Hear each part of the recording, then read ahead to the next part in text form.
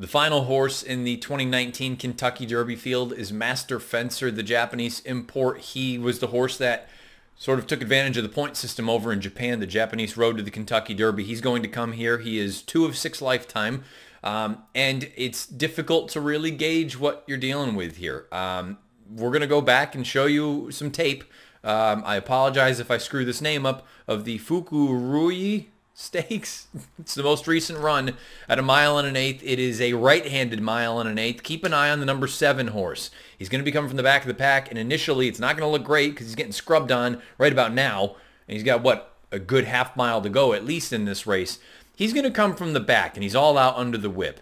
He's defeated by a horse in Der Flug, who apparently is a nice horse, and I don't know, I don't know hardly anything about Japanese racing. So take that with a grain of salt. But you see him here on the far outside. He's starting to make up some ground, um, but coming from a, a reliable source, and someone that I will not name, but someone that you folks, if you watch videos, are familiar with, um, is pretty in tune with Japanese racing and is also pretty in tune with speed figures with Japanese racing. And I spoke with him, and he said that this horse is probably about an 80 Beyer type. Um, an 80 Beyer type, simply put, as I said with Gray Magician, very unlikely to even sniff the board. Um, I don't have a heck of a lot else to add, to be honest. Uh, I see Just a Way. Just a Way was a really nice grass horse over in Japan. I don't know if this horse is going to take to our style of racing over here in the United States. I don't know if he's fast enough. I don't know about the distance because Just a Way was more of a mile and an eighth type.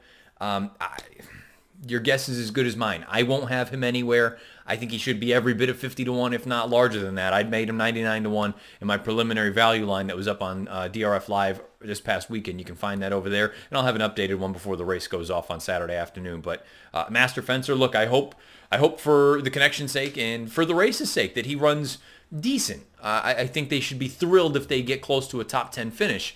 Um, because, you know, this is still something you want a bit of an international flavor. At least I do. I think it's best for the game if you get more of these international types that come over here and take a shot. Um, having said that, I just find it very difficult to imagine him being a, a serious threat in this race on Saturday afternoon. Master Fencer, a little bit of an international flair in the race. Uh, don't think I'm going to be having any piece of him as far as wagers are concerned for the Derby.